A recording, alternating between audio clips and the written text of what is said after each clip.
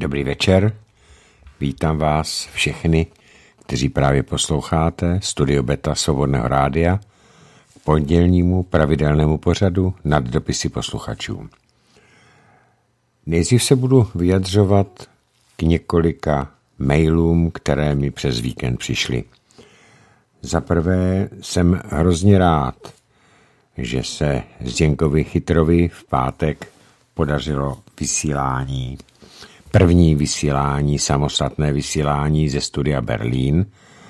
Eh, bylo to v celku povedené vysílání z našeho hlediska a především jsem byl rád, že se podařilo zabránit v pátek odpoledne celoevropskému blackoutu, protože hrozilo vypnutí elektrické energie, vypadnutí teda elektrické energie ve velké části Evropy, včetně nás a Rakouska.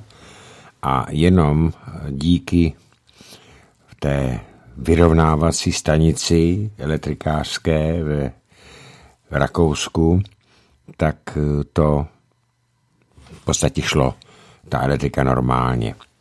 Byla o něco nižší, ale šla normálně. Je to proto, že přestali fungovat sluneční elektrárny v Německu a nebyl vítr, to znamená, že nešly ani, nešly ani větrníky a v celoevropské síti, která je propojená, došlo k, tak, k silnému poklesu elektrické energie, že e, například to postihlo e, chvíli Itálii. Máme informace od Moniky Piliony, že Vatikán byl postižen blackoutem, ale ne na dlouho. A k tomu se váže zpráva, která vyšla původně v tureckém hoaxovém spravodajství, kde uvádějí mm, samé výmysly.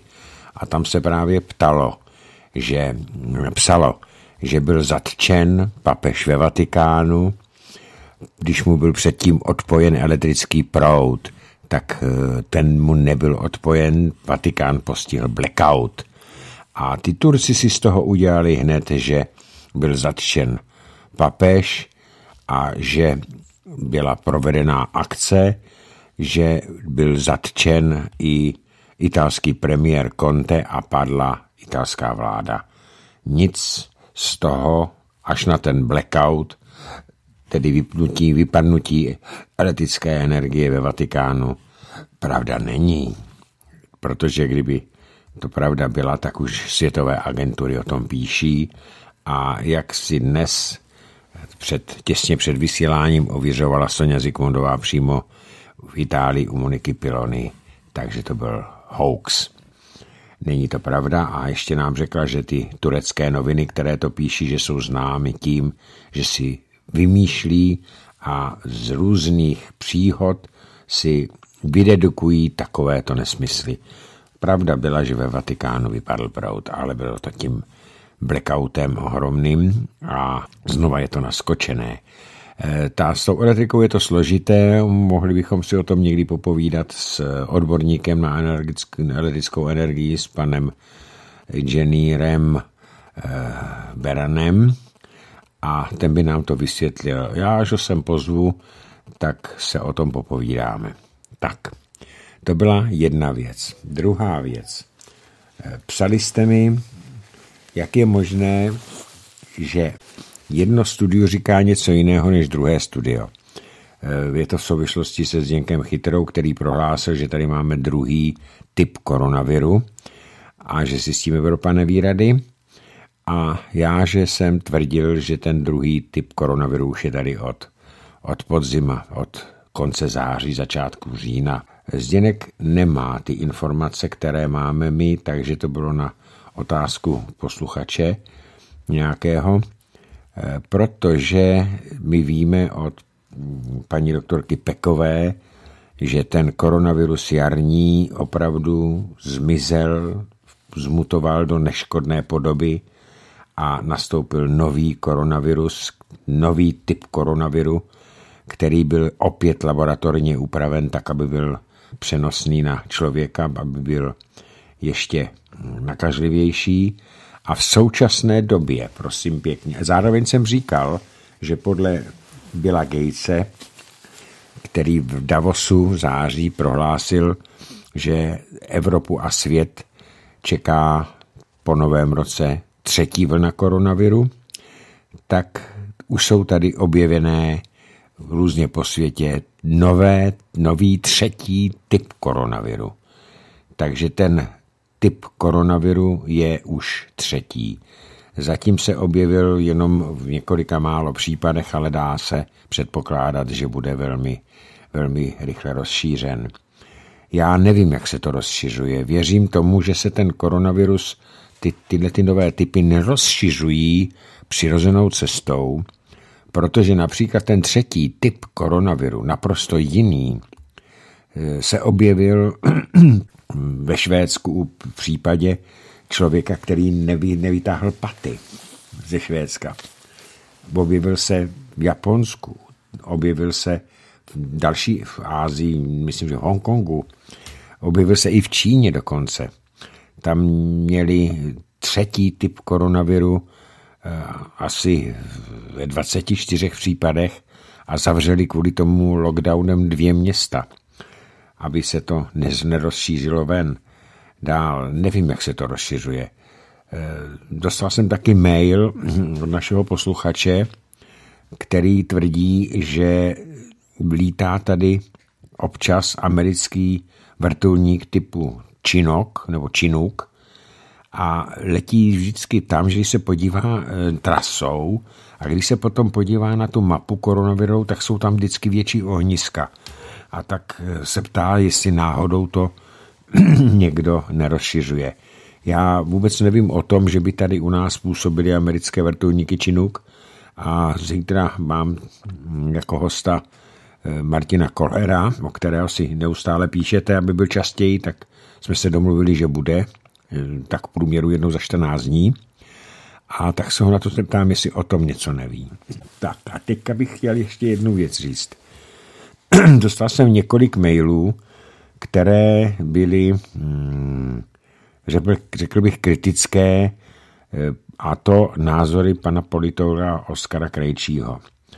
Já nejsem politolog a nikdy se s našimi hosty nehádám, protože to nemá žádný smysl, už jsem to říkal několikrát, i když na určité věci mám jiný názor. Takže on v podstatě prohlásil o Bidenovi, že to bude normální prezident. Já tomu nejsem přesvědčen. Já jsem přesvědčen o jiné věci. Zvolením Bidena se v podstatě změní geopolitická situace, protože Biden je loutka Deep State a jak známo, Deep State chtěl a chce eh, roz, rozpoutat jadernou, ne jadernou, ale v podstatě konflikt s Ruskou federací a s Čínou. Eh, prezident Donald Trump tomu bránil a proto musel být odstraněn jsem stejně tak přesvědčen, na rozdíl od politologa Oskara Krejčího, že tam došlo k ohromným volebním podvodům a ten Deep State má totiž ohromnou moc. Deep State je v podstatě ekvivalent nového světového řádu a nový světový řád, já už jsem to říkal asi před čtyřmi lety, nebo pěti, že když se rozhodnou, že zničí Ameriku, a teď k tomu došlo, protože já se obávám, že po zvolení prezidentem Bidena inaugurace bude 21. ledna a proběhne, to je dneska už jasné, tak, že dojde v Americe ve Spojených státech k takovým nepokojům, které by se daly přirovnat k občanské válce. Pokud tam nevíde, ne, nevypukne klasická občanská válka. Je to proto, že ti lidé, kteří vědí, co se tam děje, tak tomu nechtějí nechat volný průběh. Ale na demonstraci před, před budovou kongresu, kde měli kongresmani potvrdit nebo potvrdit výsledky voleb, anebo v podstatě přijmout opatření, že nebyly v pořádku a měly by se opakovat, nebo nějaká další opatření by měly přijmout, tak tam bylo vidět, na těch videích, jak to bylo organizované a jsem přesvědčen o tom, že ty násilné akci, akce měla, měli provokatéři, konkrétně Antifa. A i ta střelba tam byla poněkud velmi podivná. Donald Trump si nastval svoje příznivce, že hm, hlásal klid. No on nemohl udělat nic jiného. Ale konspiračním teoriím, které tady u nás eh, se objevily, že projev prezidenta nebyl Trump, že to byl dvojník a tak dále, to jsou opravdu keci. Donald Trump nemohl udělat nic jiného a teďka bude čelit velký, velmi silnému tlaku, aby nebyl odvolán ještě do 21. ledna, protože pokud by proběhl impeachment, tak by už nemohl příště kandidovat, kdyby chtěl na prezidenta Spojených států. Takhle by samozřejmě za čtyři roky mohl. A teď ještě vůbec k tomu, proč se něco takového nedělo před čtyřmi lety, když byl poprvé zvolen. Je to naprosto logické. Donald Trump byl považován za naprostého outsidera, za šaška, za člověka, který nemá šanci. A proto ten Deep State a demokratická strana eh, tyto věci a tyto záležitosti tam nedělala a spoléhala na to, že ty agentury, které dělají veřejné mínění, tak eh, všechny, bez zesporu všechny, dávali, mm, favorizovali eh, Hillary Clintonovou. Nedělali proto žádné takovéto čaškárny a divadlo. Proto bylo jejich ohromné překvapení, včetně české televize a dalších televizí v Evropě, když skutečně vyhrál Donald Trump. Takže se dělalo celé čtyři roky kampaň, aby už nemohl být zvolen. A protože ty hlasy, které dostal, tak byly rekordní, ale Biden prý měl ještě více, tak je, a jsou je tam tolik důkazů, které unikly ven, že se opravdu jednalo o podvod. A teď, co z čeho se já obávám. Já jsem eh, četl zprávu a znova nevím, jestli je to hoax nebo není, jestli je to fake nebo není, nevím, dostal jsem to, obdržel jsem to, ale dostal jsem zajímavou zprávu, která koresponduje s vývody vojenských analytiků Števce i pana Martina Kolera. Například Martin Koller prohlásil už před časem, že otázka nestojí, zdali vypukne třetí světová válka, anebo nevypukne, ale otázka zní kdy. A právě v tomto kontextu jsem dostal tu informaci a znova opakuji, dostal jsem to zprostředkovaně, protože nemám napojení na vojenskou kontrarozvědku, ale ta prý ve své výroční zprávě uvedla, že třetí světová válka je nevyhnutelná a vycházeli pravděpodobně z výsledků voleb ve Spojených státech, protože ať se nám to líbí nebo nelíbí, Spojené státy ovlivňují geopolitickou situaci na celém světě. Takže já jsem přesvědčen o dvou záležitostech nebo dvou věcech. Za prvé, volební vítězství Josefa Bidena byl volebním podvod.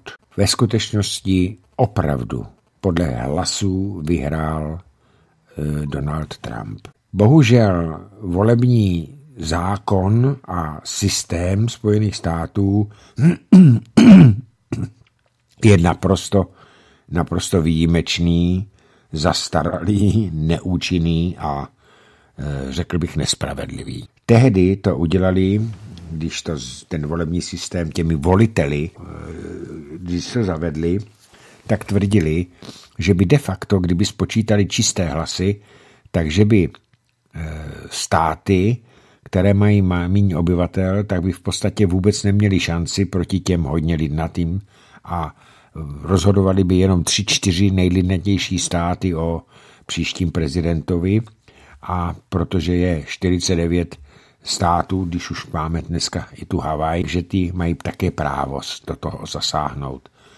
Je to podle mého názoru nesmysl, protože zase podle jejich ústavy ten volitel se má řídit, nikoliv musí, má řídit vůli voličů. Ale už jsme to zažili v minulosti několikrát, kdy eh, konkrétně třeba mm, v minulých volbách Donalda Trumpa, kdy volitel hlasoval jinak, než rozhodli voliči. A tak se domnívám, že to je neskutečně eh, nespravedlivý a zastaralý volební systém. A zároveň jsem přesvědčen o tom, když jsem viděl a viděl jsem několik těch videí eh, nového budoucího prezidenta, bývalého viceprezidenta Baracka Obamy, eh, jak vystupuje, tak nemohu souhlasit s mým kamarádem, přítelem Oskarem Krejčím, že Biden bude dobrý prezident. On vychází totiž z premisy, že byl dobrým viceprezidentem Baracka Obamy, ale to byl o čtyři, pět let mladší. A v jeho věku, protože se je to nejstarší zvolený prezident v historii Spojených států vůbec, tak, eh, tak jak jsem ho viděl, tak buď má Alzheimera, anebo stařeckou demenci, ale normální uvažující člověk by si nemohl splést svého dávno mrtvého syna s vnučkou. To, to, to není normální. Takže jsem přesvědčen o tom, ale byla nadiktována Bidenovi, aby jmenoval viceprezidentku Kamalu Harrisovou, protože to je kovaná socialistka, až bych řekl komunistka, která je poslušná Deep Stateu tak, že už teď, ještě předtím, než bylo jasné, že nastoupí do úřadu, prohlašovala, že Ruská federace nesmí být tak, jak tvrdil eh, Trump, partnerem, ale že to je nepřítel, kterého je potřeba zničit. Takže já se obávám, že po zvolení, nebo po ina, abych to řekl přesně, po inauguraci a nastoupení do úřadu Joe Bidena budou následovat tři věci nebo záležitosti. Za prvé, okamžitě se změní vztah a rétorika vůči Ruské federaci. Okamžitě se začnou ve větší a tvrdší míře dělat provokace vojenské provokace Ruské federace a budou spoléhat, že Rusům prasknou nervy. A za třetí jsem přesvědčen, že to, toto čtyřleté volební období Joe Biden nedokončí. A dokonce si myslím, nejsem o tom přesvědčen, jako o tom, že to nedokončí, ale dokonce si domnívám, že nevydrží ani rok a podle zase podivné americké ústavy nebudou nové volby, ale automaticky do konce volebního období převezme funkci prezidenta viceprezident, který ovšem zase bude jmenovat svého dalšího viceprezidenta. Stalo se to tak naposledy, jestli se pamatujete, eh, když zabili, zabili, zastřelili atentátem v Dallasu eh, Johna Fitzgeralda Kennedyho. Žádné volby se ve Spojených státech nedělaly.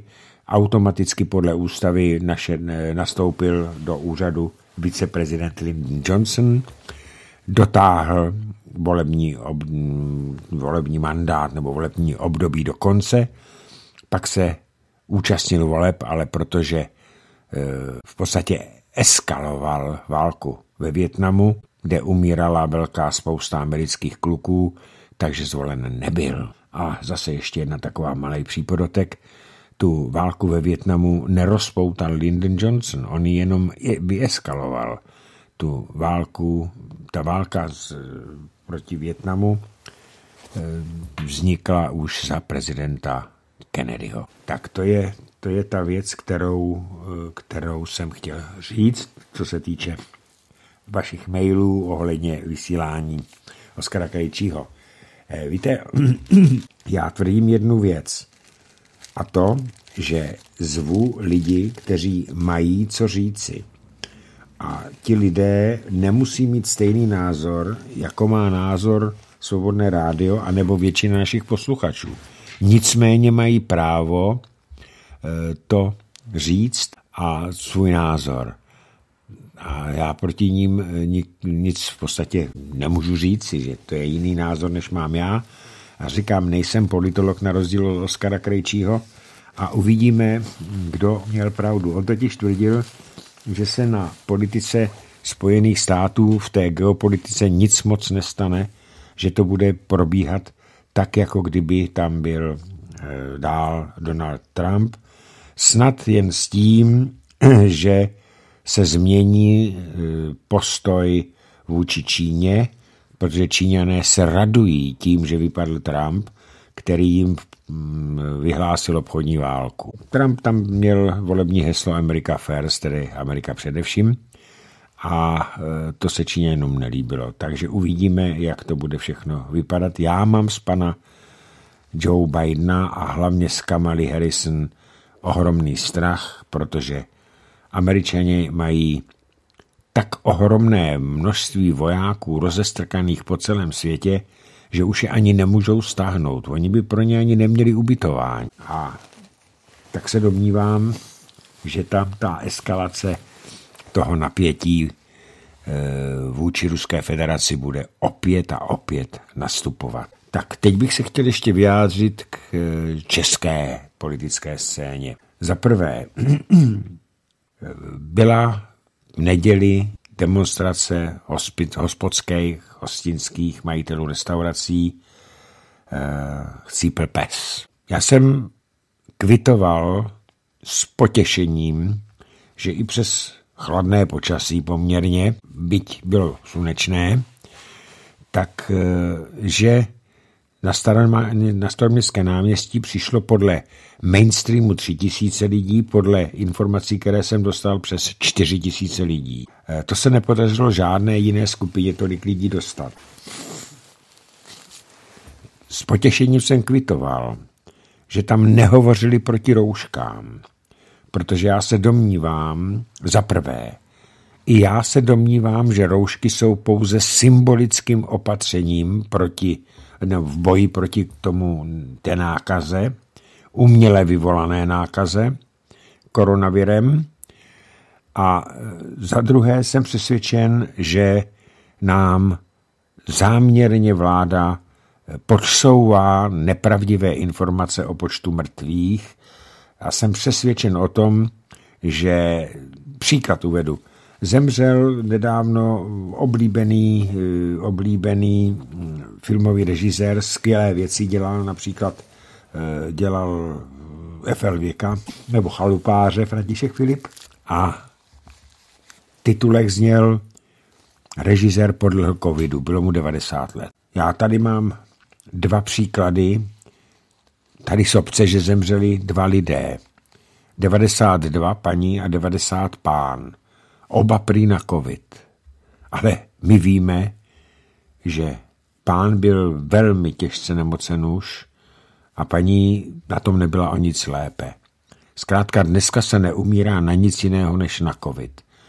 Sonja Zikmundová už tady četla jenom ty částky, které dostávají nemocnice od pojišťovny na JIP lůžka. V případě, že to není covid a v případě, že to covid označeno jako covid je, tak za týden dostanou o 416 tisíc korun na lůžko více, než na lůžko, kde neleží pacient s covidem. Je proto naprosto zřejmé, že všechny nemocnice uvádějí veškeré úmrtí na jípce jako covidáky, aby si dostali víc peněz. A já jsem souhlasil, naprosto jsem souhlasil s tím, co tam říkali ti hospočtí. Ano, oni všichni, eh, to jsou Češi, čeští podnikatelé. Kdo nepodniká, tak si neumí představit, kolik stojí vybavení restaurace. Jaké přísné normy tam jsou. Já jsem se s tím setkal ještě jako zastupitel Brandýse, když jeden podnikatel chtěl udělat na Brandýském zámku luxusní zámeckou restauraci, co všechno, a bylo to město, město mu to jako, město to zainvestovalo a pronajímalo. A, tak já vím, my jsme museli jako zastupitelé schvalovat investice, takže jsme se o to zajímali poměrně podrobně. Tam musíte splnit neskutečné množství norem. Musíte tam v podstatě dělat to zařízení na míru, aby to těm normám odpovídalo. A stojí to hodně a hodně peněz. Všichni ti hospodští do toho e, ty peníze, pokud vaří a vůbec provozují hospody, museli dát. To tež platí o sociálních zařízeních v restauracích a hospodách. A navíc, jestli se pamatujete, tak před časem, když to, to lobby nového světového řádu Evropské komise začalo boj proti kouření. On to není boj proti kouření, to je boj proti tomu, aby se v hospodách nescházeli lidi a nekuli pikle proti, proti establishmentu a proti zřízení. A určitě se pamatujete, že hospodští museli ze zákona nejdřív udělat místnosti pro kouření a nekuřácké. Takže to řešili všelijakými přepážkami a museli tam mít odsávání. To, ta investice na to odsávání stála taky hodně peněz. No a pak to zrušili, zakázali úplně všechno nesmyslně. Naprosto nesmyslně, protože eh, a řekl bych, že i hm, proti zákoně, protože jestliže my tady máme podepsanou listinu práv a sobot, která je na tu stavu, kde se uvádí, že soukromém vlastnictví je nedotknutelné, jak pro boha mohou nařizovat hospodským, kteří jsou ve vlastních eh, objektech, pokud mají vlastní objekt, jestli tam musí nebo nesmí kouřit. To by mělo být na majitelech těch objektů. To je to samé, jako kdyby někdo začal nařizovat, že ve svém vlastním domě člověk nesmí používat, já nevím, třeba mikrovlnou troubu. Podobně nesmyslný je ten zákon o tom zákazu kouření. Takže já jsem naprosto souhlasil s těmi, s těmi hospodskými a fandil jsem jim, protože tam mluvili, všichni tam mluvili k věci, věděli, o čem hovoří a tvrdili jednu věc, je to systematická likvidace soukromého českého podnikání. Jeden ten řečník, jména si nepamatuju, jeden ten řečník tam uvedl i to, že nehovoří jenom za hospodské, i když si to iniciovali, ale hovoří i za všechny majitelé, provozovatele soukromých obchodů, těch menších obchodů, českých podnikatelů, které jsou těmi dvěmi lockdowny, jarním a teďka tím podzimním a zimním, v podstatě zlikvidováni. A to je ten účel. Takže jsem s nimi naprosto souhlasil. Nesouhlasil jsem na druhou stranu s vystoupením herce Suchánka, protože herci dostali tolik peněz, kolik se o těm živnostníkům ani nes, nesní. A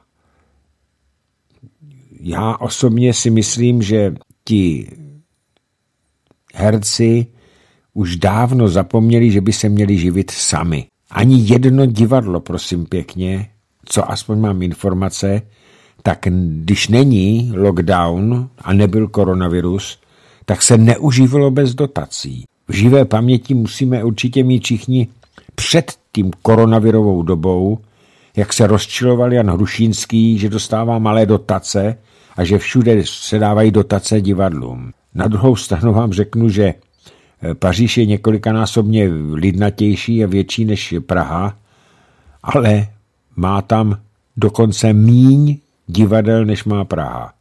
Takže je jasné, že eh, bez těch dotací se některé ta divadla neobejdou. A pak se mi tam nelíbilo vystoupení Václava Klauze mladšího za účastí Václava, teda staršího, za účastí Václava Klauze mladšího, který tam byl taky. Já jsem totiž přesvědčený, že vystoupení pana Klauze byl předčasný volební a antré výstup na příští prezidentské volby. Václav Klaus starší si už začíná budovat pozice, aby se mohl ucházet po konci volebního mandátu Miloše Zemana o další, už třetí funkční období eh, v funkci prezidenta. Na rozdíl od Spojených států, kde mají jenom dvě volební období, bez toho, jestli jsou za sebou anebo po nějakém čase, mají tam dodatek ústavy výjimky při, při eh, enormních situacích. Například byla výjimka při první světové válce a byla výjimka při druhé světové válce, kde byl zvolen eh, Frank Delano Roosevelt eh, čtyři volební období za sebou, říkám kvůli té válce.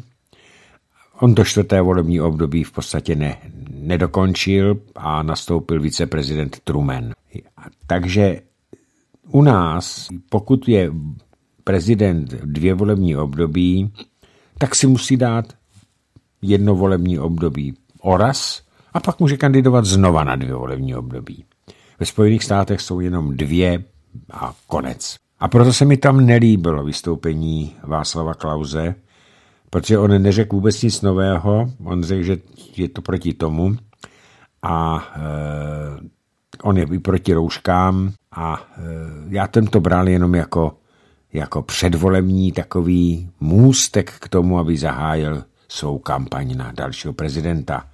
A já si moc dobře, vážení přátelé, pamatuju, a vy jistě taky, za jeho působení, co by ministra financí, byl rozkraden český stát, že ta škoda činí 2 až 4 biliony korun, podle toho, jak to počítají různí ekonomové.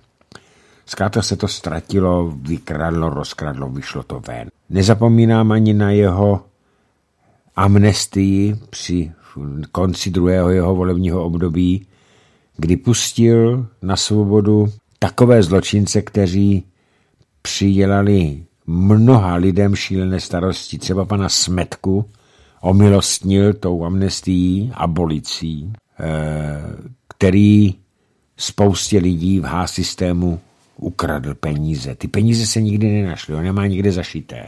Čas nějaký byl sedm let, myslím, že byl ve vězení a teďka se bude užívat. Já osobně můžu říct tady a zodpovědně to prohlašuji, že pokud budu živ a zdrav při další volbě prezidenta a věřím, že bude přímá, tak Václava Klauze staršího bych nevolil. Dostal jsem taky otázku. A co kdyby tam byl například Václav Klaus starší a generál Pavel? Koho byste volil? Odpovídám. Nevolím menší zlo. Pokud tam jsou dva kandidáti ve druhém kole, kteří mi nevyhovují, naprosto mi nevyhovuje ani jeden, tak jim přece nemohu dát hlas. Proto bych, kdyby takový situace nastala, nešel k volbám. Ani Václavu Klauzovi, ani od tomu eh, Petru Pavlovi bych hlas nemohl dát. Takže to je jenom k tomu eh, vystoupení, jinak to bylo velice sympatické, ale ty dopady. Já jsem dneska četl velice zajímavý, zajímavou diskuzi pod jedním článkem, kde jeden posluchač napsal, že to, co se dělo po té schůzi, nebo po, té, po tom meetingu, po té demonstraci, takže mu to připomíná 70. léta. Mně taky. A nejenom 70. léta. Mně to připomínalo 50. léta. A ještě více. Mně to připomínalo 30. léta v Německu. A proč? Někteří lidé si tam našili na kabáty žlutou Davidovou hvězdu a napsali neočkován. Byl to, byl to symbol, nebylo to naprosto zneužití památky na holokaust a památky těch milionů mrtvých židů, které zabili nacističní Němci, a to je důležité říct, Němci to byli, protože ani Italové, ani Japonci Židy takovým způsobem nelikvidovali. A tam byla paní, která byla zaměstnána na liberecké radnici, dělala ombudsmanku e, seniorům, to znamená, že jim radila při různých problémech. Ona byla okamžitě v pondělí z práce vyhozena za svůj názor, za účast na té demonstraci a za našitou tuto žlutou hvězdu s nápisem neočkován. Jak jistě víte, Židi byli ve třetí nacistické německé říši občani druhého až třetího řádu. Když neprošlo ve sněmovně o jeden pirátský hlas návrh z novel, novely zákona o zdraví, kde, která by zaručovala lidem, kteří se nechtějí nechat očkovat proti koronaviru látkou, která je nevyzkoušená, která je nebezpečná tím, že ovlivňuje DNA, mám na mysli Pfizer, Bion, BioNTech, tak že nebudou smět být nějakým způsobem diskriminováni a nebudou smět být v podstatě omezení svými lidskými právami ukotvené v základní listině práv a svobod člověka. Neprošlo to o jeden hlas a já už jsem tenkrát říkal, můžeme čekat diskriminace, můžeme čekat to, že budou rozděleni lidé na ti dobré, ty dobré, kteří se nechají očkovat a ty špatné, které, kteří se nenechají očkovat. A ti špatní, kteří se nenechají očkovat, že to budou mít budou mít zhoršenou životní situaci a budou omezováni na svých lidských právech, přirozených lidských právech. Tehdy prohlašoval jak pan Primula, tak ministr zdravotnictví Blatný a i dokonce premiér e, Babiš, že to očkování je dobrovolné, že nikoho nebudou nutit zákonem a tak dále. A jejhle, nebudou nutit zákonem, ale hned poté, co byl přijat ten, nebyl přijat ten zákon té novely, tak už je prohlasovalo, že lidé neočkovaní budou muset nosit neustále roušku. Ona jim vadí těm lidem rouška. Že lidé neočkovaní nebudou moci třeba létat letadly na dovolené, protože ty společnosti soukromé tam neočkované nebudou chtít brát. To je taky jedna z nátlaku. Ale že nebudou moc chodit třeba do divadel, do restaurací, až to bude proočkované, na sportovní utkání. A to je diskriminace jako bejk. A právě proti tomu protestovali také ti, ti protestující včera a chtěli, aby od 24. ledna se Česko otevřelo. Ten lockdown podle mého názoru je naprosto nesmyslně udělaný. Já bych byl proto, aby se opravdu aby se opravdu udělala opatření, která by zamezila šíření koronaviru. Ale do prčice práce, když jdou lidi na do skiareálu a budou tam mít v té frontě na lanov, na, na, na, tu, na, tu, na ten vejtach, na ty sedačky, tak budou mít na sobě roušku, přijedou nahoru na kopec, tu roušku strčí do kapsy a sjedou si to bez roušky, tak jaká možnost nákazy? Prý se tam srocují lidi. Mě by jenom zajímalo, kolik lidí z těch demonstrací, předešlých demonstrací, které taky byly bez roušek, kolik z lidí tam byli nakaženi, když jsou venku. Víc zákaz těch skiarálů, to je, to je naprostá, naprostý nesmysl. Já s nimi, s těmi protestujícími naprosto souhlasím, protože oni nemůžou, ti provozovatelé těch ski, areálů, zakázat lidem, aby tam jeli a vyšlápli si to pěšky a sjeli to dolů na těch lyžích nebo sáňkách. Jenomže oni musí mít zavřené ty lanovky, ty výtahy, nebo já nevím, jak se tomu říká. Já jsem na hody nikdy nejezdil, protože jsem nikdy lyžovat neuměl. Já jsem hrál spolní tenis a sezonu jsme měli v zimě, takže já jsem nesměl ani, abych si náhodou nezlomil nohu, takže já to neumím a nikdy jsem tam nejezdil, tak ani nevím, jak se ty všechny hejblátka jmenujou. Ale museli zavřít i sociální zařízení, které tam musí ze zákona mít pro ty návštěvníky. A taky tam neumístili, když jsou zavřené ty areály, tolik těch odpadních košů. A jak to dopadlo? Ty ski areály jsou zaplaveny odpadky, ty lidi neměli kam házet. Ale hlavně exkrementy. Oni jsou obexkrementované ty areály, abych to řekl slušně. Jestliže tam jedu na celý den, tak je lidská přirozenost, že vyměšují. Ať už na malou nebo na velkou. A jestliže nemám kam jít, no tak musím mít někde vedle ty, ty, toho areálu. A teď je problém. A mají problém ty, ty, ty, ty, ty provozovatelé. Kdo to bude uklízet? Oni nesmějí provozovat areál, oni je tam nepustili, ty lidi si tam měli sami, oni nemají možnost jim to zakázat, nemají žádný příjem a uklízet by ten areál měli na své náklady. ty areály, které zavřela vláda, by měla jít osobně ta vláda uklíze, aby zjistili, co udělali. A další věc nesmyslnosti s těmi zavíranými malými obchody. To je taky jenom čin proti malému střednímu českému podnikateli. Takže schrnu to, vážení přátelé. Já jsem naprosto souhlasil s tou demonstrací, byl jsem potěšen, já jsem ji neviděl celou, už jsem tam nezaslechl projev právě Václava Klauze mladšího, za prvé jsem musel pryč od televize, nebo ona od televize, od počítače, že jsem to pouštěl na počítači a za druhý jsem ani nechtěl poslouchat.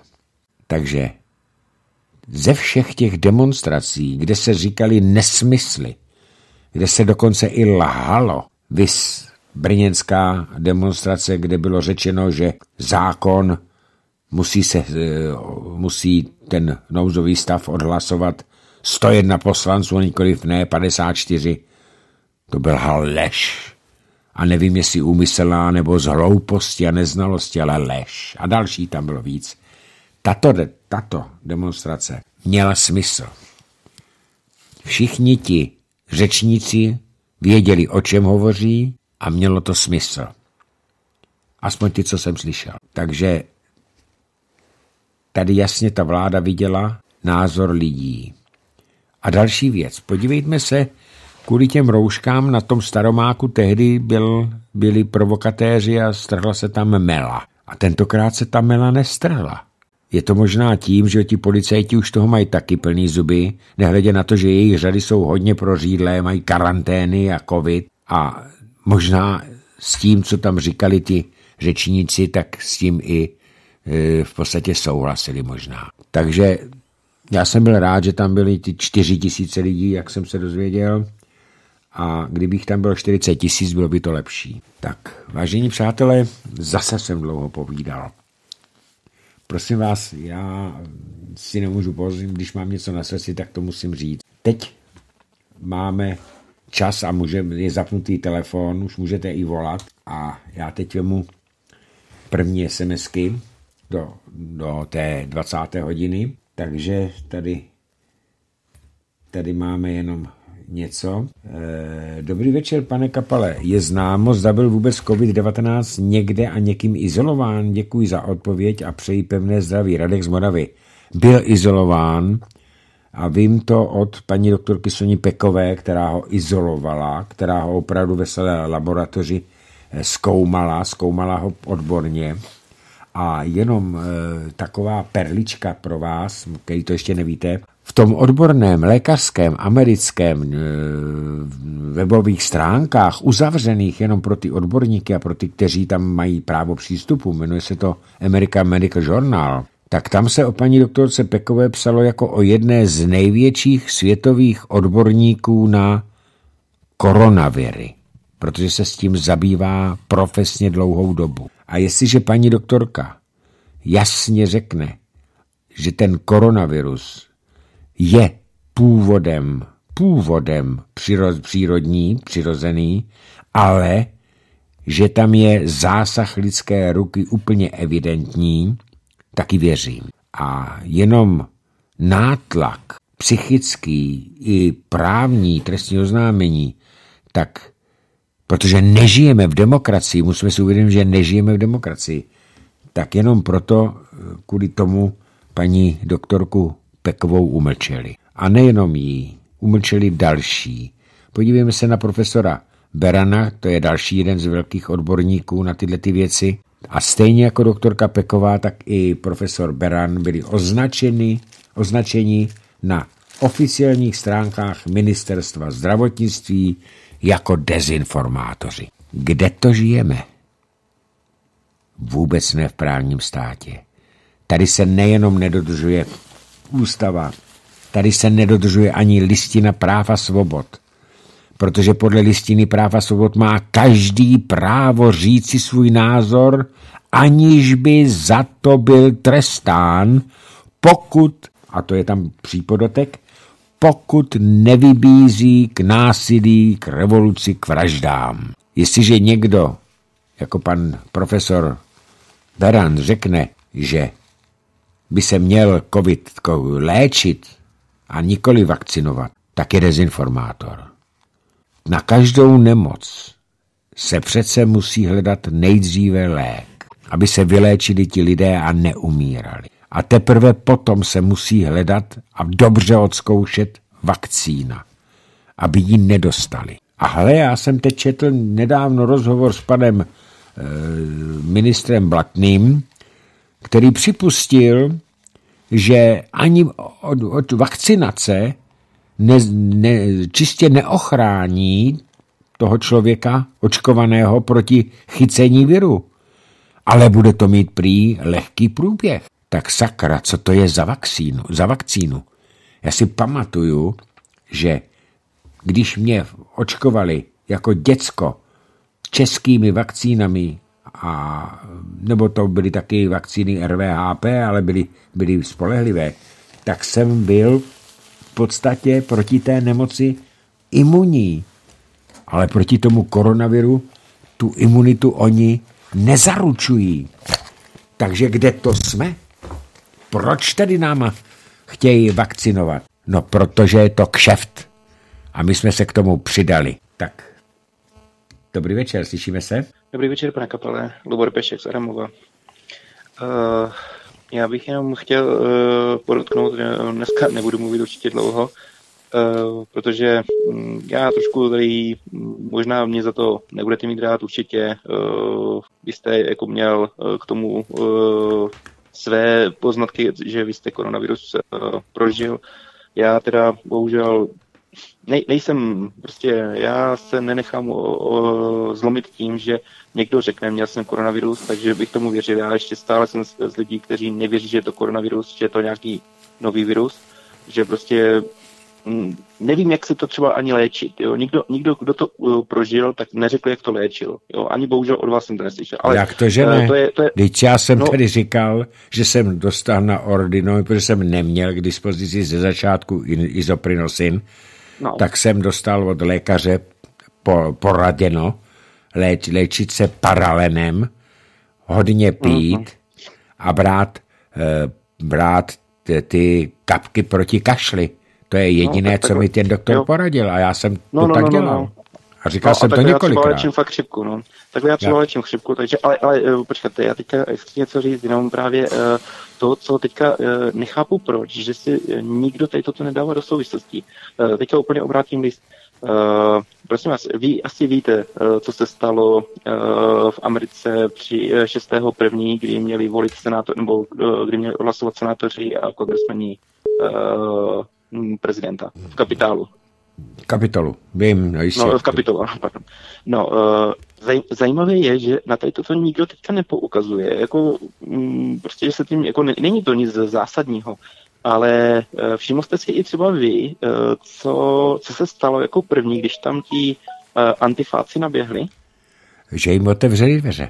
Otevřeli jim no, tu, no, ne, ne, jasně, jasně ale, tam. Uh, narážím právě na to, že mně přijde zvláštní, eh, že okamžitě, v momentě, kdy tam proniklo to nebezpečí, tak eh, senátoři i kongresmeni ani se jich vůbec neptali, ale organizovaně, eh, bez nějakého prodlení, všichni byli ukryti. Všichni se schovali. A nejenom jako to. První. Okamžitě, bez jakéhokoliv, tam tahali z okránky zbraně, ani nevěděli, co se ještě děje a už tahali pistole. No. To jsem no, si taky všiml. Takže a, a právě, a já tady na to narážím, protože uh, není to tak dávno, co jeden uh, borec, kdy já diskutuju na různých forech a mě tam právě přesvědčují o tom, jaký já jsem idiot, že uh, místo toho, abych věřil, že někdo něco řekne, tak jako nad tím logicky uvažuji, no tak to je jedno. Ale já jsem právě čerpal z historie a já jsem si jako vždycky říkal, pokaždé, když byla nějak, bylo nějaké ohrožení v celé historii lidstva, tak vždycky jako první se e, zachraňovali bohatí, vláda a elita. Vždycky. O, očividně je to úplně to samé a je teďka, co se stalo v, to, v té Americe. Úplně stejný scénář a nikdo si neptal, okamžitě bez prodlení to tam tak bylo. A já říkám, no dobře, no a kdyby teda doopravdy existoval, eh, existovala nějaká epidemie, nějaké doopravdy nebezpečné, smrtelné nebezpečné ohrožení koronavirem, opravdu někdo věří, že jako první, co by bylo, že by se neschovali politici, že by se neschovali miliardáři, milionáři, že by jsme už o nich ani neslyšeli, že oni by nás nechali úplně bez problémů vychcípat. Na, jim na lidech nezáleží.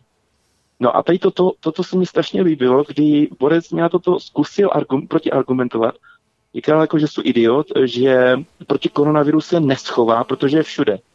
No a když jsem se ho zeptal, no a to, na co je teda celá ta karanténa, na co teda jsou veškerá opatření, když je všude, tak už mě neodepsal. No. Tak já už nevím, na čem jsem. Já jenom jsem chtěl na tady toto podotknout, že tady tohodle si vůbec nikdo, jako že se to vůbec nespojuje, že zase Uh, i když to nesouvisí přímo s tématem koronaviru, takže se zase ukazuje, jak by se doopravdy postupovalo, kdyby to smrtelné nebezpečí, které by mohlo postihnout kohokoliv, kdyby to opravdu takhle, jako takhle mezi náma řádilo. Kdyby to bylo tak smrtelné. Já jsem na tady toto chtěl uh, poukázat, když tak já budu slyšet vaše vyjádření v, uh, v, rádiu, abych nezdržoval. Jenom jsem prostě tady toto chtěl, aby třeba takhle lidé přemýšleli, nebo prostě abych nastolil tady tu myšlenku. Tak se mějte krásně a nashledanou. Nashledanou. V podstatě tam k tomu e, jsem to už říkal několikrát. Já jsem přesvědčený o tom, že to je biologická zbraň záměrně rozšiřovaná mezi lidi.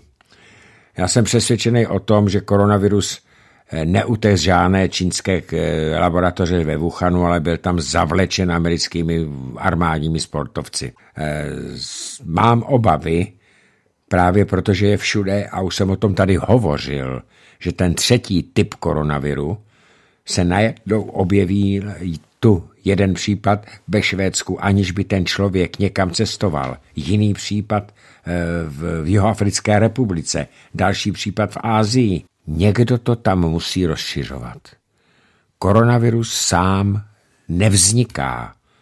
Koronavirus je ten, navíc je to evidentně, a to já věřím paní doktorce Pekový, že to je se zásahem lidské ruky, eh, je to manipulováno s tím koronavirem, s tím původním. Dokonce se tvrdí, a já ne, nevím ani pro, ani pro ní, proti, že se to rozsypává společně s chemtrails. A já už jsem to tady dneska říkal, náš posluchač mi poslal mapu, kudy letěl ten americký vrtulník a přesně ta trasa odpovídá tomu, že tam vznikají ty, eh, řekl bych, nejhorší centra toho, té nákazy.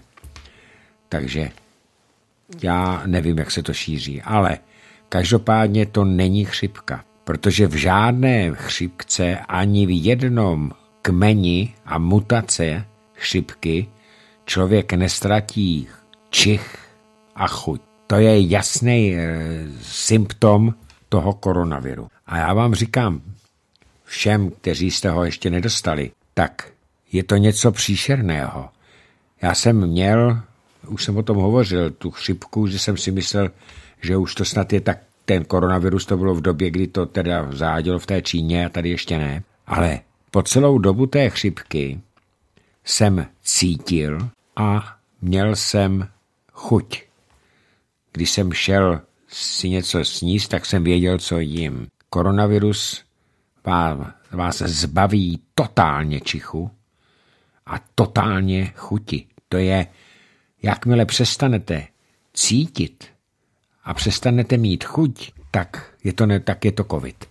A můžu vám říct, že jíst se nedá, protože všechno, co pozřete, tak se vám otáčí v krku, protože máte dojem, že jíte nějakou chemii. Já jsem tam cítil jako chemii, chlor, já nevím, co ještě. Všechno možný, ale jenom nejídlo.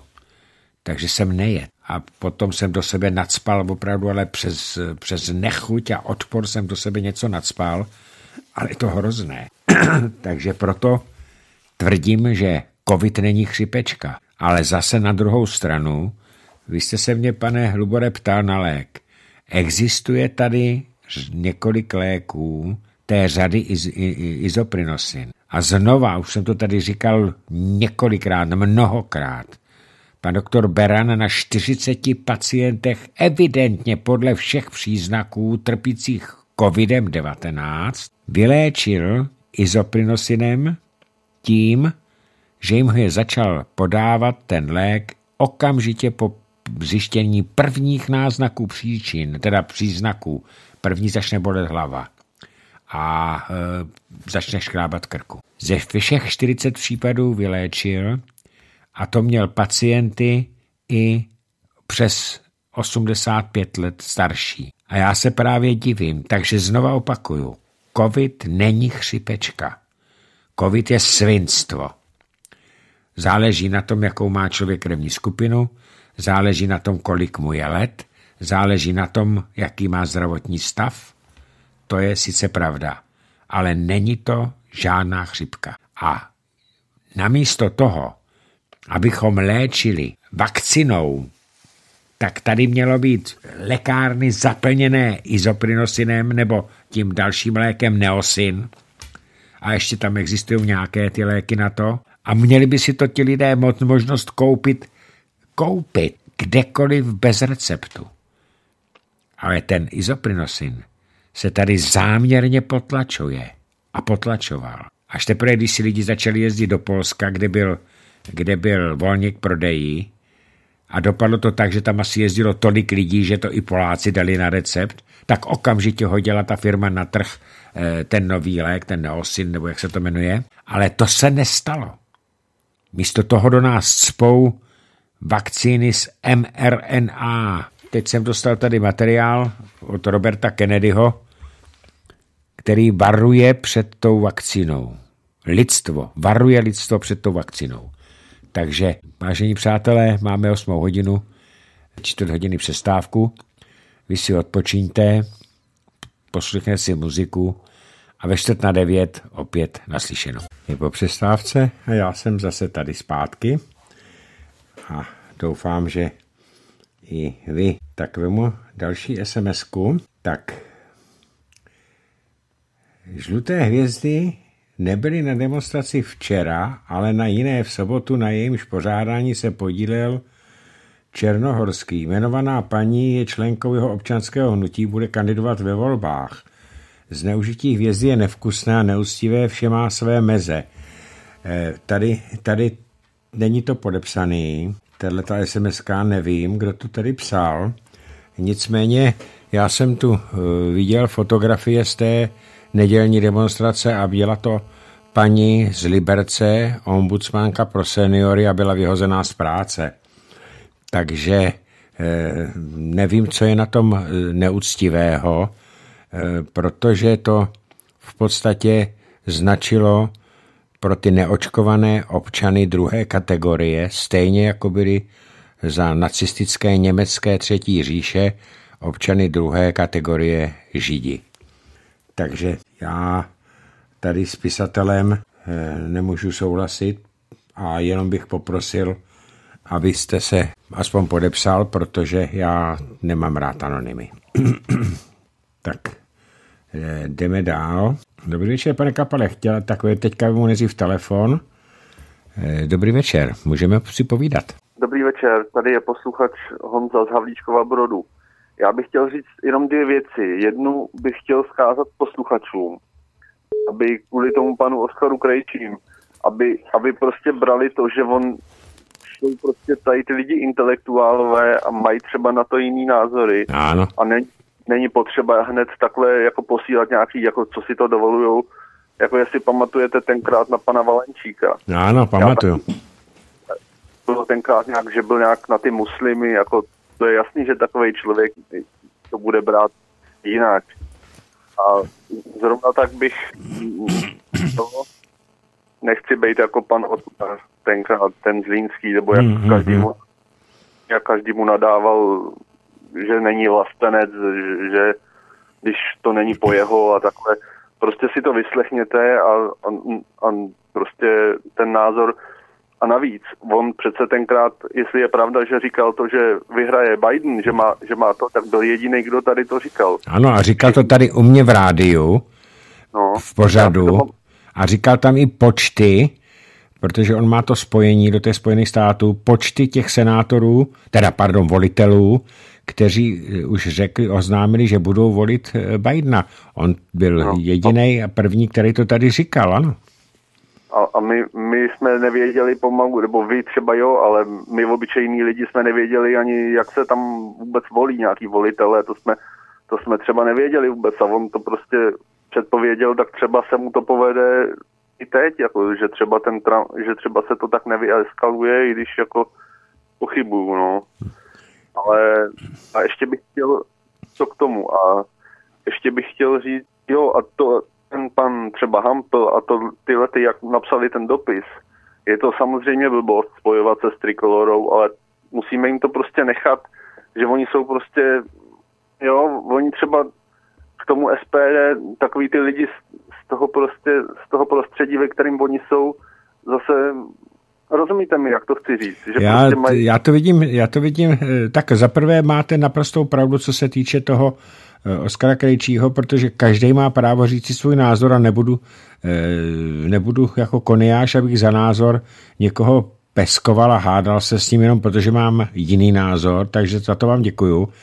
A to, ten dopis, který tam podepsal skvělí lidi, tak on je celkem logický. Eh, oni totiž vidí, že na jedné straně se spojuje ODS, KDU, ČSL a TOP 09, už se hádají, už se hádají, zase se k tomu můžeme vyjádřit potom. A na druhou stranu se spojují Piráti se Stanem.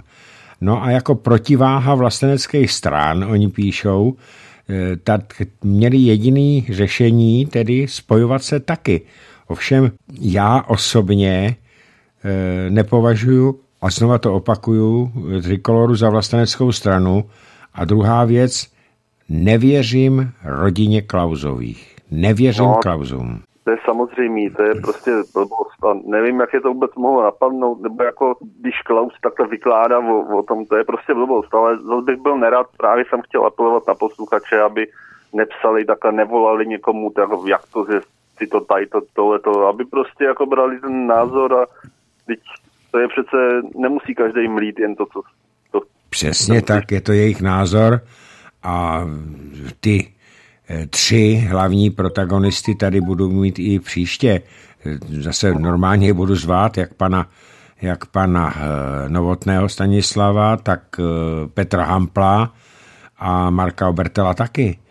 Takže nevím, proč bych na ně měl nevražit jenom proto, že se snažili udělat protiváhu koalicím, eh, koalicím těch, toho debil bloku.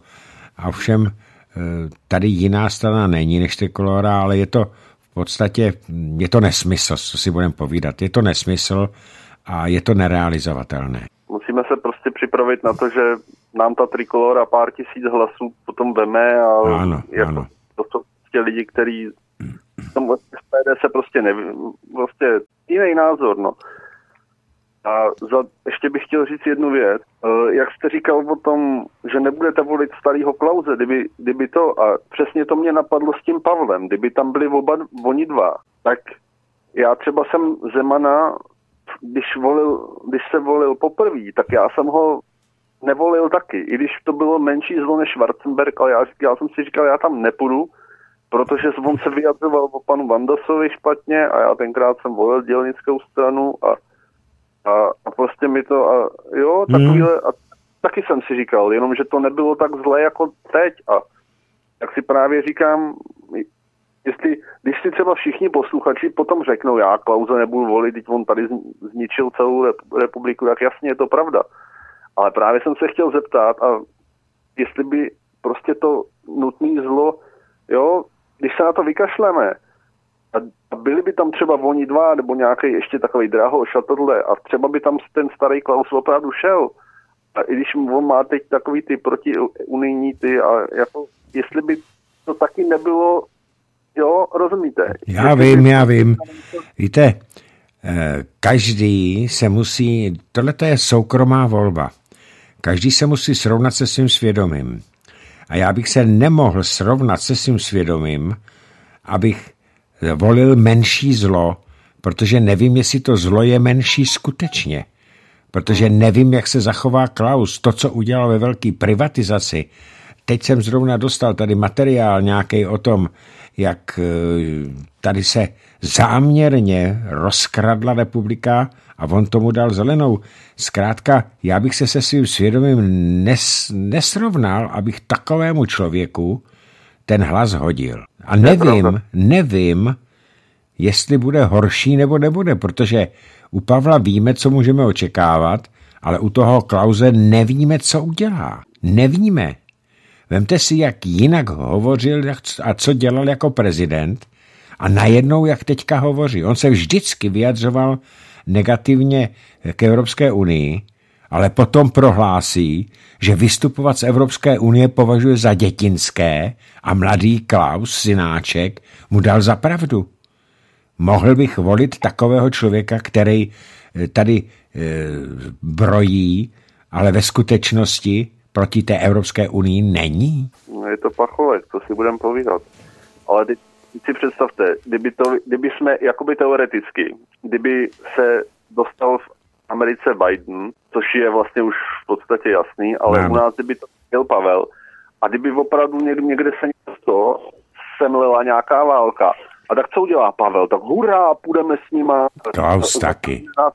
Klaus taky. I Klaus, stejně jako Zeman, musí poslouchat. Uvědomte si, že oni jsou oba dva globalisti. I ten Zeman je globalista, jenomže Zeman no. Není euroatlantický, ale euroazijský, spíš obrácený na ten východ. Jo? Když to Klaus, ten je, ten je amerikanofil. A vždycky byl. Takže on by neudělal nic jiného. Já vám řeknu ještě jeden příklad. Když se podepisovala Lisabonská smlouva, tak eh, Václav Klaus ji nechtěl podepsat. A byl taky poslední z prezidentů Evropské unie, který ji podepsal. Jenom proto, že mu už byl dokonce sestavený tým lékařů, to znamená zaprodanců lékařů, kteří v případě nepodepsání té Lisabonské smlouvy by ho prohlásili za nepříčetného a zbavili by ho z toho důvodu prezidentského mandátu, ale taky podepsal. A byl to podpis v podstatě smrti vůči České suverenitě České republiky. Kdyby byl takový vlastenec a kdyby byl tak statečný člověk, tak se vzdá mandátu prezidenta a nepodepíše ji. Někdo říkal, no tak by tam zvolili někoho jiného, jenomže ono to nejde tak rychle. Tam no, se jednalo o osobní statečnosti. On mohl se vzdát prezidentského mandátu s tím, že, že to nepodepíše. Neudělal to a podepsal. To je pravda. No. To, bude, to ještě, bude to ještě zajímavý. A... Já bych to viděl jinak. Že tady se musí najít nějaký kandidát, vlastenský kandidát, eh, kterého by v podstatě národ vzal a zvolil. Bohužel takový tady není. On musí být charismatický, on musí mít rozhled, on musí být politikem. Tady se napadají jména paní Vytázková a takovýhle věci. To jsou přece nesmysly. Jak může dělat prezidenta? Podívejte se na Čaputovou. Co tam dělá? Teď tam, teď tam působí jako slon v porcelánu a škodí.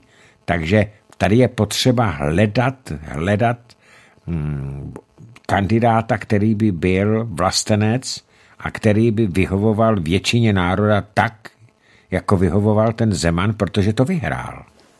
Hmm.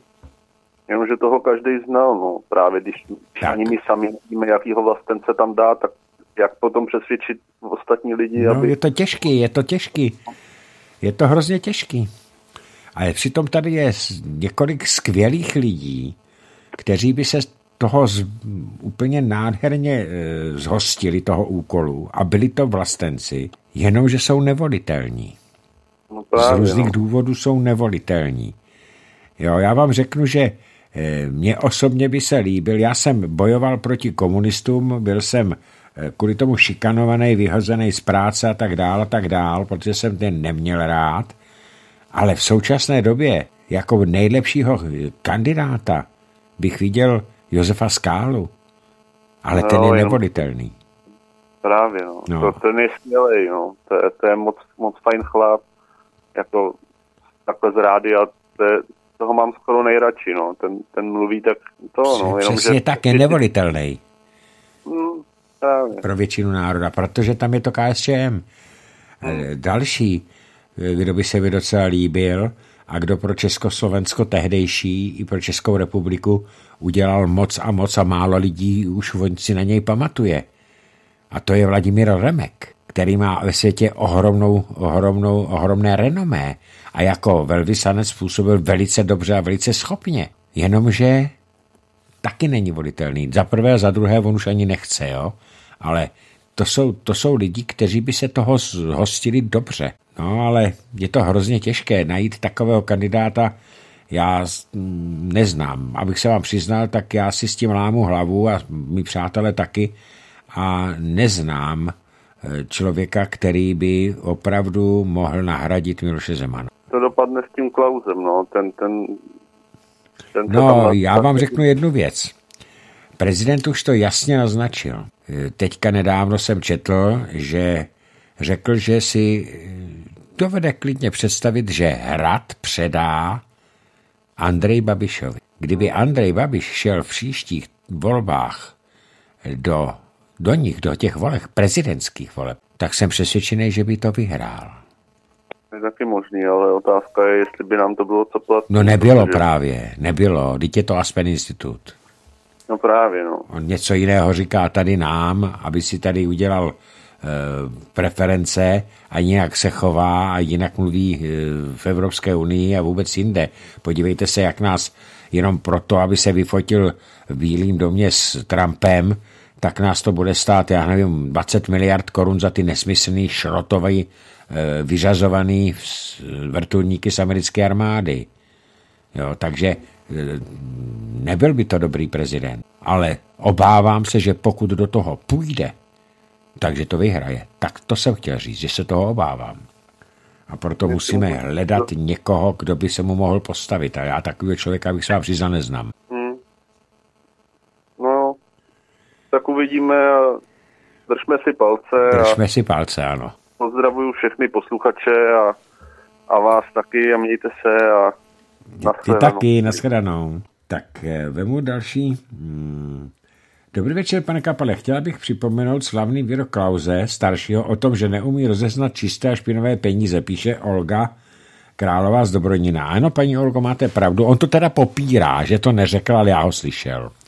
On to teda říkal. A navíc si pamatujeme všichni, když jsem přišel slavně a založil harvardské eh, fondy, eh, jak on se jmenoval, tak kožený, víc takových kožených, když rozjížděl privatizaci. Víc takových kožených. No a podívejte se, kožený nám v podstatě roz, zničil na československou nebo českou potom na námořní plavbu. Takže ne, ne, ne, ne, ne, ne, Klauze já nemůžu. Jdeme dál. Dobrý večer, pane Kapale, velmi si vás vážím, ale nechápu v poslední době výběr hostů. Eh, korona hysterky konvičku Valenčí, Valenčíka mé, k mé obrovské lítosti Kobzu i bohužel pana Krejčího se musela vypnout. Dle mého názoru to byla ztráta času. V dnešní hektické době bych opravdu ocenila třeba doktora Obrtela, pana Kratochvíla, oba pány, biskupy a tak dále. Samozřejmě to vaše věc, ale o přínosnosti takových pořadů pochybuji, píše Zuzana. Vidíte, paní Zuzano? A to jsme tady u toho, u toho problému. Podívejte se, já si vážím všech hostů, které si sem beru. Vážím si i jejich názorů a vážím si i toho, že kvůli posluchačům a, a, a popularitě ty názory nemění. Že říkají své názory. Ono na ten covid je různý, nebo koronavirus je různý, jsou různé pohledy. Nechejme těm lidem Eh, ať mohou říct svůj názor. Proč bychom je za to měli zatracovat? Vy jste zmínila třeba Marka Obertela. Na druhou stranu Marek Obertel je podepsán pod tím dopisem, který dostal Tomio Okamura a já věřím, že to dostali Václav Klaus mladší, aby se ty dvě strany spojily a já to přitom považuji za naprosto nemožné a zbytečné, protože e, a je tam podepsaný právě Marek Obertel. A budeme kvůli tomu na něj nadávat.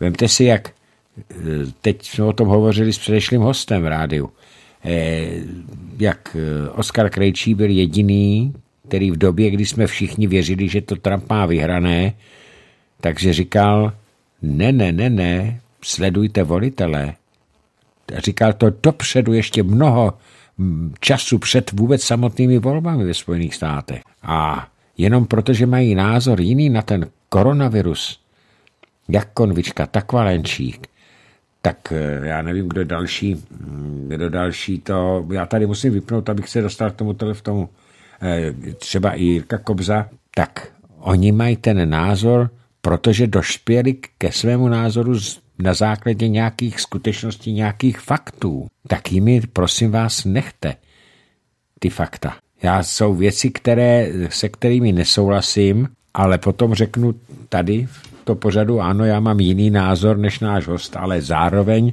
on má právo se takhle vyjádřit.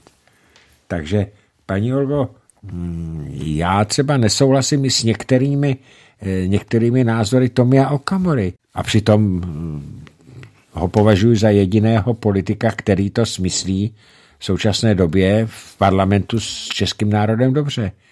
Ale některé jeho opatření těm taky nechápu, ty taky nechápu. Třeba on má víc informací, nebo oni i ti naši víc informací než my. Takže asi takhle, tak a teďka vemu ten telefonát, jestli se mi to povede. Tak Pepo, teď už můžete, dobrý večer. Dobrý večer, vážený pane Kapale, zdravím rodinu Svobodného rádia, zdravím posluchače Svobodného rádia. Eh, chci jenom k těm klauzům, já už jsem tam minule taky zmiňoval právě v tom pořadu s panem Krejčím. Nevěřit, oni mají konta, já bych tady zavedl nejradši ten eh, zákon, co teď nedávno Putin, že zavedl, že když má člověk účet v jiném státě nebo v těch daňových rájích a různě, tak nemá šanci být na úřadu. Ano, přesně no. tak, nesmí být na úřadu. Nesmí ano. být z jakémkoliv úřadu státní zprávy, ano. Pře- přesně tak. Tohle je skvělý zákon, takhle by to mělo platit právě i na ty klauze a takhle. A e, chci jenom říct, že v dnešní těžké době Eh, můj sen o prezidentovi je pan Martin Koller, ale víme všichni, že eh, to taky odmítá, ale to by byl nejlepší prezident v této době, aby jsme se tady prostě ochránili před tímhle šílenstvím, co se děje po celém světě. No a teďka, a... To, je, to, je, to je, pane Pepo, to je přesně ono. Ano, to by byl taky dobrý prezident, ale je taky nevolitelný. Přesně, no, přesně. Pro, pro, většinu, pro většinu lidí, protože on, oni jsou, víte, to dělají to samé, co dělají teď s Trumpem, že ho odstřihli od médií, jo, od Twitteru a mm-hmm. Facebooku. A takhle se to děje po celá léta i u nás. E, protože já jsem beru hosty, kteří jsou opravdu skvělí, když mají na něco jiný názor než já, ale no. jsou odstřiženi od těch hlavních médií. Tudíž nejsou v národě notoricky známý. Jo? Takže Martin Koller by byl taky výborný prezident, ano. Ano, a je to přesně o tom, jak jsme teď tady řešili tohle tu, uh, v úvozovkách demokracie, jo? že demokracie je právě o tom, pos, poslechnout si uh, jiný názor a debatovat o něm a uh, zkoušet uh, nalézat různé cestičky. Tak. Ale, ale ne, ale ne přeci ohned dehonestovat nebo osočovat a nedej bože nadávat. Jo. To prostě o tom prostě demokracie není a ty lidé tím pádem nežijou v demokracii, kteří tohle píšou nebo kteří se takhle projevují. Uh, jo, to prostě hmm. nelze. Nelze a e, demokracie je právě o tom, aby jsme přijímali i ty různé názory, ale v klidu. Za prvé, Pepo, a za druhé, v rádiu, v každém rádiu, když jsou takovéto pořady, tak se tam záměrně berou různé typy lidí s různými názory. Je to proto, aspoň já to tak beru, aby si posluchači udělali sami svůj názor. Na jedné straně ano. je jeden názor, na druhé straně je tenhle názor, tak aby ti lidé přemýšleli, ke kterému z nich se přikloní. Ale naprosto odmítám, že to jsou špatní hosté. Nejsou. Jsou to skvělí lidé, ano. Já, já si jich velice vážím, mají já. na určité věci jiný názor. A uvidíme, a jestli je... nakonec Oskar Krejčí neměl pravdu s tím, když tvrdil, že když se zvolí Biden, že se nic moc nezmění. Uvidíme. Uvidíme. No, bývalý práci jsem volal na začátku tenkrát do, rá, do Svobodného rádia, tak víte, že můj nejlepší kamarád byl vlastně ČSSD oponent, jo, v hmm. práci, 60 letý chlap. No. A, a e, to byl nejlepší kamarád, jezdili jsme spolu na ryby a tak dále a jenom tím, že má jiný názor, tak ho přeci nebudu zahazovat. Byl Přes, to, je, je to skvělý člověk. Ano, ano přesně jo. tak. My jsme, a jenom tím, že... My jsme tady no. totiž, Pepo, v minulých minulým režimu museli mít všichni stejný názor a ty, kdo měli jiný názor, tak vyhazovali z práce. Dneska už se to tady eh, objevilo zase. A no, my jsme se skončil. naučili, my jsme se naučili prosazovat jenom ten jeden svůj názor a my jsme přece volali pro, o pluralitě různorodosti, já bych řekl česky, názorů. A když to, slova. Přesně ano. tak, přesně tak. Ano. Tak jo? Tak děkuji moc, pane Kapale, a přeju hlavně zdravíčko, ať, ať začneme ten nový rok s pevnou vůlí a silnýma nervama. Ano, přesně tak. Přesně se to vysílá, ano. Mějte se. Naschledanou. Naschledanou. Tak já jdu na další SMS-ku. Ježíš, těch je tady moc, to nestihnu ani všechno. Eh, dobrý večer, pane Kapale. Chci se zeptat, zda se k vám nedostala informace, že 26.1. mají občané zaslat poštou dopis parlamentním stranám na odmítnutí lockdownu. Jinak eh, jim nedáme volební eh, hlas. Dopis je právně ošetřena právě zaslání poštou má větší váhu. Má být zaslán stejného data, aby se naschromáždilo velké množství odporu. Díky za pořád zdraví Iva z Moravy. Já jsem to neslyšel, paní Ivo, takže nemůžu to komentovat, protože o tom vůbec nic nevím. Takže tuto informaci o nějakým dopisu 26. ledna slyším poprvně. Tak teď je mu zase telefon. Dobrý večer. Já vás zájím, pane Vladimíre. U telefonu Lev Bucký. Já vím. Já právě hovořil o tom, o čem už jste právě hovořil teď Pepou ze Severu, který ho teď a i prostřednictvím Svobodného rádia zdravím. A pokud všechny posluchače Svobodného rádia. A, a řekli jste to velice správně. Eh, protože eh, eh, tam, co tam vám píšou ty lidi ohledně těch hostů, toho pana, pana Krejčího nebo Valenčíka nebo a takhle. Jo? To opravdu o tom dialogu, protože pokud bychom začali prostě vymezovat tyto lidi k tomu, že mají jiný názor, tak bychom se úplně zachovali stejně, jak ty sluníčkáři. A, a to hmm. už není demokracie. Přesně jo, tak, demo, ano. Demokracie je, je prostě diskuze prostě o, o tom, uh, no, jak bych to řekl, je to, je, demokracie je, uh, jak bych to nazval? Já bych je vám prostě... to poradil trošičku. Demokracie je o názorových střetech.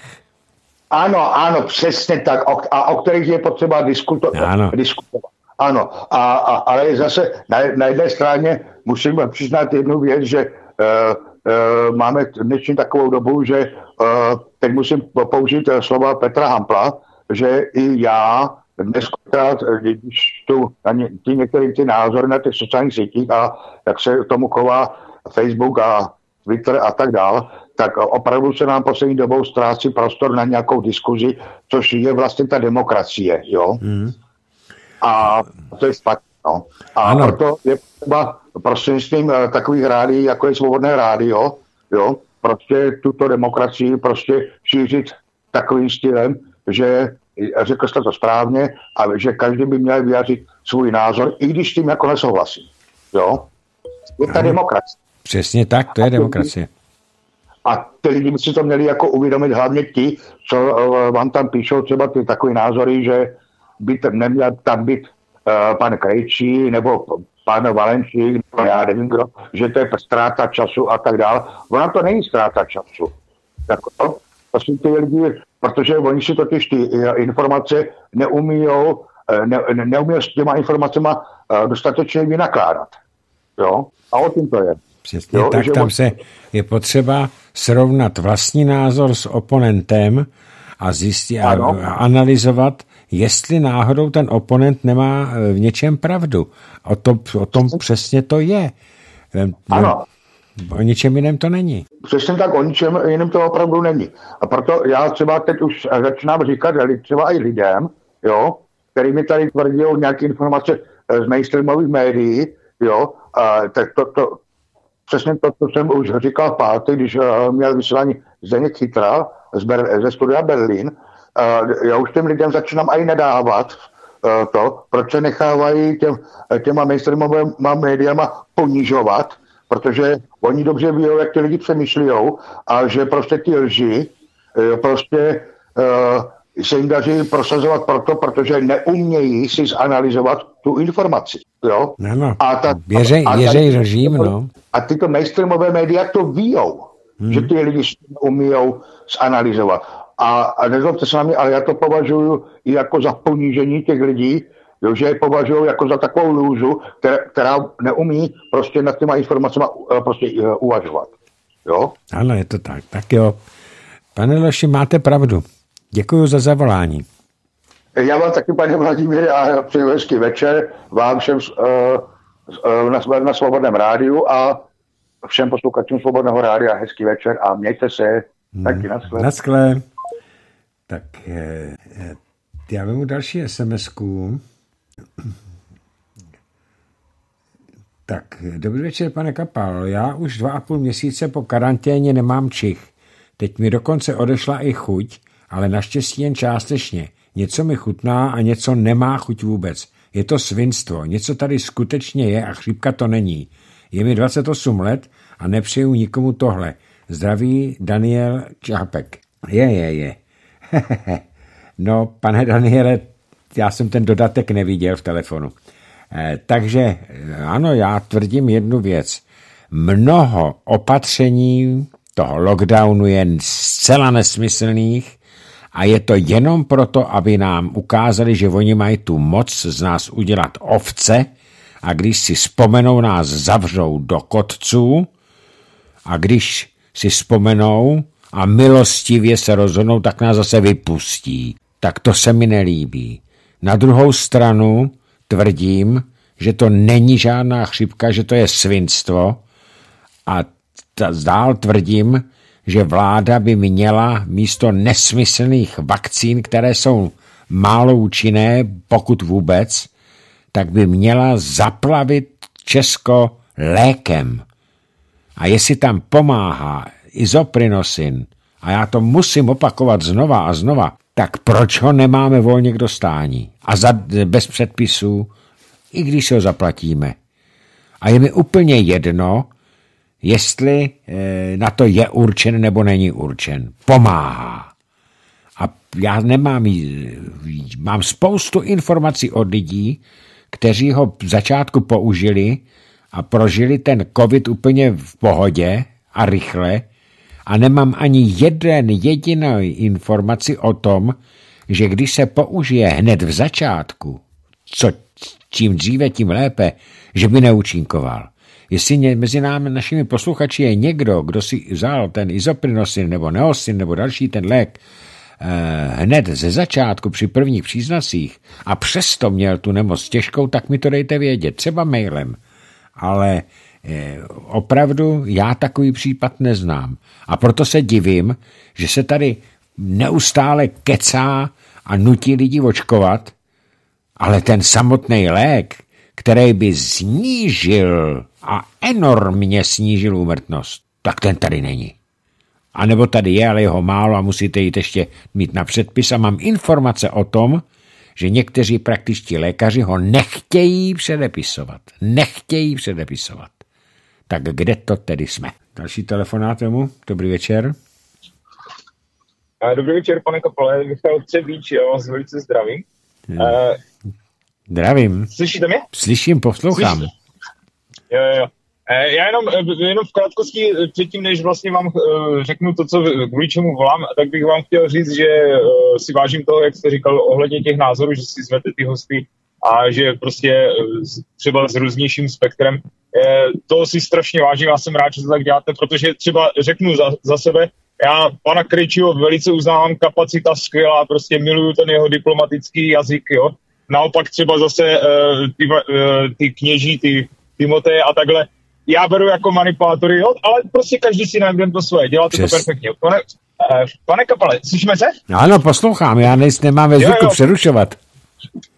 Jo, jasně, jasně, já jenom právě, že tady uh, je trošku horší signál. Každopádně, každopádně, pane Kapale, já uh, chci jenom říct jednu věc.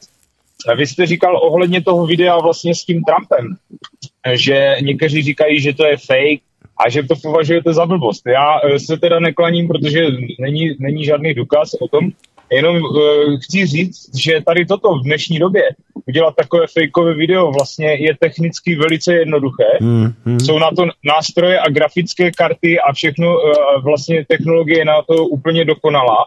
Je to udělat tak opravdu v dnešní době, že to nejde poznat. A jestli vzpomínáte, asi čtyři roky zpátky proběhlo na TV Nova, eh, kde tam i Zemana dělali a eh, bylo to, myslím, po inauguraci Trumpa. A ukazovali tam, jak tam fejkujou Trumpa, Hillary a že mhm. třeba tam... Vzpomínáte si na to? Ne, já to na, na televizi nekoukám, takže já si na to nemůžu vzpomínat, já to neviděl. No, tak to tam proběhlo, jo, že to vlastně mm-hmm. jde udělat. A dneska je na to, dneska v každé grafické kartě, co hrajou lidi na počítači, dokonce i v televizích, jsou části čipu, kde prostě je takové takzvané deep learning, jo, nebo vlastně umělá inteligence. Mm. Dneska to má skoro každý, každý, každý taková grafická karta a hlavně opravdu technicky udělat nějaký takový projev je naprosto, ne že jednoduché, ale je to prostě pro ajťáky je to jednoduché. Hmm. Takže já bych to úplně nezatracoval. Zrovna když já jsem poprvé sám viděl to video, tak jsem si říkal, sakra, to dělala umělá inteligence, jo? Prostě hmm. úplně mi to napadlo, aniž bych věděl ty uh, ty okolnosti, že se kolem toho vzniknou. Takže jenom tak, no, já bych, já, říkám, dneska to, technicky to je možné. Já to nespochybnuju, já si jenom domnívám, že Donald Trump musel eh, takhle vystoupit s tím, že odsoudil násilí, protože si nechce nechat zavřít dveře do eventuálně za čtyři roky do volební kampaně. Takže... No dobře, ale, ale když si vezmete, tak on vlastně pár hodin předtím jako vyzval ty lidi, ať bojují za tu pravdu a potom vlastně, když tam e, se stala ta podivnost, že je tam pustili a čtyři hodiny ne, nechali chodit po kapitolu ty no, e, jakože protestery, jo, to tak smrdí, že mě to bylo tak směšné, tomu přece nemůže nikdo věřit, že to je prostě tak, jak to prezentují média. A, ale vlastně, že je hnedka odsoudil, jako první je vyzve a pak je odsoudí. A to je, video je, je fakt jako takové divné. Je to docela možný, protože když ho odstřihli úplně, takže zrovna hmm. teďka by ho zase pustili. Je to podivný, ale já nevím. Já to zaprvé to nepoznám. Já, já to nevím, ale e, zkrátka americké volby jasně ukázaly, že ty, kdo mají média, ti, kdo mají peníze, mají moc, si mohou dovolit všechno. Ano, přesně tak. A jenom čas ukáže, jak to všechno bylo. Ano. Ono se to časem ukáže. A já jenom jsem chtěl právě toto zavolat, že hmm. opravdu technicky to je možné je to možné, tak, aniž by to bylo vůbec poznat, ani prostě tak, aby to bylo nerozeznatelné. Mm, že to opravdu nemusel říkat, ano. Rozumím. Ano, přesně tak. Jo? Ano. Tak krásný večer. Taky, naskle. A díky. Tak to jsou technické věci, které já teda moc nerozumím, že jo? Tak eh, další tady eh, SMS. Dobrý večer. Ve 21.15 má promluvit prezident Trump k národu. Josef T. No, tak eh, já nevím, jestli to budou naši dávat. Uvidíme, co to, co to, co bude říkat. Další SMS. Dobrý večer, pane Kapale. Prezidentské místo po Zemany se už dlouho hřeje Andrejovi. Michal Střebíče. Já mám taky takový dojem a já jsem o tom dneska hovořil, Eh, protože to už prezident eh, Zeman naznačil, že by eh, rád předal klíče od radu, to znamená symboliku, právě Andrej Babišovi. Takže já se taky obávám, že půjde do prezidentských voleb. Ale nejdřív bude chtít vyhrát, vyhrát volby na podzim 8. Mm, 9. října, jestli se nemýlím, a stát se premiérem. A teprve z premiérské eh, funkce by kandidoval na prezidenta. Eh, ostatně ve světě to není nic neobvyklého, že tyhle ti vrcholoví politici eh, chtějí dosáhnout maximálního politického vrcholu, což je tedy prezident, takže se mm, uvidí. Eh, máme ještě, já dojem, mám takový dojem, že máme ještě dva roky do prezidentských voleb, tak eh, pokud se toho dožiju, tak budu velice zvědav, jak to vlastně bude probíhat. Ale já jsem přesvědčen o tom, že Andrej Babiš si už právě dělá, dělá to, tu cestičku na to křeslo prezidenta. Taky si to myslím. Tak další sms -ka. Jenom se to tady... Tak. Jo, to je ten dodatek. Srovnávat hrůzy z holokaustu s tím, že bez očkování nebudete moci do divadla, není nevkusné a neústivé. Využívat hrůzy holokaustu k vlastní propagaci jako paní Tarabová je podle vás OK? Aspoň špetka slušnosti vůči obětem hrůz nacismu by vám neuškodila. PS, byla to sobotní, ne nedělní demonstrace. Paní Tarabová přišla o místo kvůli účasti na sobotní demonstraci. Něco jiného je svoboda slova, něco jiného zneusení památky obětí holokaustu. Ana Brno. Paní Ano, hluboce se mýlíte. Symbol žluté hvězdy není v žádném případě zneuctění památky holokaustu židů. Symbol žluté Davidovy hvězdy je symbolem podřadných lidí. Tam nebylo ani slovo o tom, že by byl zneuctěn holokaust. A žlutá hvězda je symbol, který vymysleli nacisti. Takže naprosto nechápu, proč by to byla neúcta. Hluboce se mýlíte, naopak. Já se domnívám, že tak, jak dopadnou ti, kteří se nebudou chtít očkovat, takže budou stejnými občany druhé kategorie, jako byli za války židé. Já nejsem antisemita, nejsem ani mm, židofil, já zkrátka židy od nepoznám a vím, co si museli zažít. Mám o tom literaturu, už jsem o tom dělal pořady nějaké. Eh, je mi neskutečně líto všech těch obětí a nenávidím nacismus a fašismus, ale právě proto, paní Ano, z Brna, že ten fašismus se prolejzá s těmi dvířkami do celého světa, od Ameriky počínaje do Evropy, do Evropy e, pokračujíce tak právě proto je potřeba připomínat všechny ty hrůzy, které tady byly za druhé světové války, včetně těch synonym a symbolů, jako je žlutá Davidová hvězda. Oni tam měli napsáno Jude. Tady bylo napsáno neočkován. Tak mi pro boha vysvětlete, co se vám na tom zdá neúctivého. Víte, pokud chcete věřit mainstreamu, já vám to neberu, je to vaše právo. Ale stejně tak jsem přečetl tuto vaši sms i když s ní hluboce nesouhlasím. Protože to, že tu paní Tarabovou vyhodili z práce za svůj vlastní názor, tak to považuji za daleko větší svinstvo, než to, že si vemou žlutou hvězdu. Ta žlutá hvězda nespochybňuje vůbec nic. Ta je jen symbolem občanů druhé kategorie. A ti, včetně mě, kteří se nenecháme očkovat proti covidu, protože to považujeme za, za zrůdnost, tak občany druhé kategorie budeme. To je můj názor, paní Ano. Ale váš tomu neberu. Věřte si, čemu chcete, rozčilujte se, jak chcete, ale zneustění památky holokaustu to v žádném případě není. Naopak řekl bych, že je to připomenutí toho, co ti nešťastníci, tito lidé, nešťastní lidé, museli zažívat, než byli odvezeni jako dobytek na jatka do plynových komor. Zažívali to, co budou zažívat lidé, kteří se neočkovali. Takže žádný, žádná neúcta. Je to, je to milný názor, ale je to váš názor. Já vám ho neberu. Tak ještě jednu sms vemu a budu muset končit. Ještě jednou dobrý večer do studia a všem posluchačům. Ještě maličkost. Víte o tom, že Babiš zmizel ze seznamu Aspen, Aspen Institut?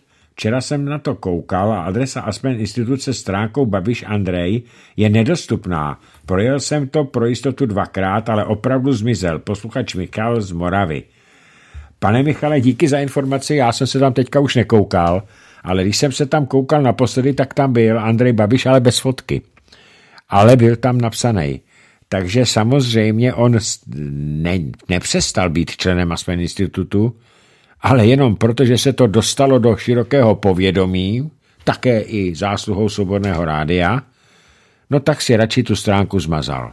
Je to, je to docela možné. Každopádně ale úplně bez diskuze. Členem Aspen institutu stále je. Já jsem o tom stoprocentně přesvědčen. Tak vážení přátelé, teď jsem si tady teď jsem si tady něco, na něco tisknul, tak teďka už jsem tady zpátky zase, takže Tady mi zvoní telefon, ale já už ho nebudu brát, protože už máme po vysílání a já to říkám neustále, aby se volalo do 9.